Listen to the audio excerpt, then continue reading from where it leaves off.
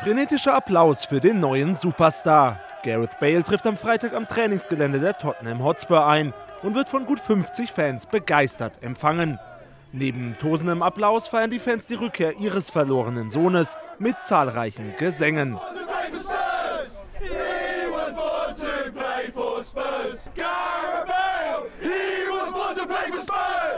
Die Rückkehr des walisischen Fußballstars ist wohl nur noch Formsache. Wahrscheinlich ist wohl ein Leihgeschäft der Spurs mit Real Madrid.